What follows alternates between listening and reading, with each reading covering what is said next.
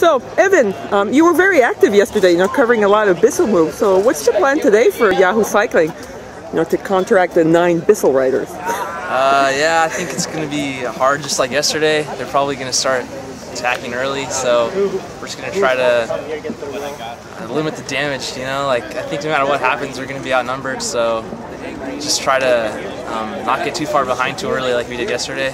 Just get a couple guys up there. Just do what we can, you know?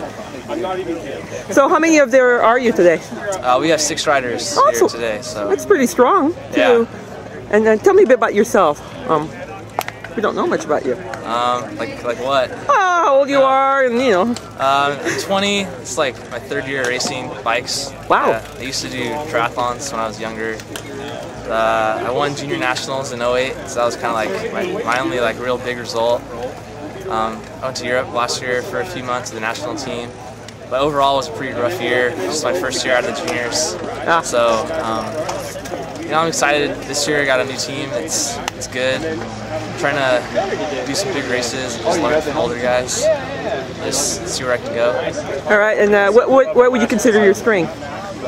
Um, I'm pretty strong, like all arounder. I think um, coming from a triathlon background, I'm probably best at time trialing. But I've been I've been working on getting a little faster at sprinting and climbing and stuff. Uh, I can do anything. All right. Okay.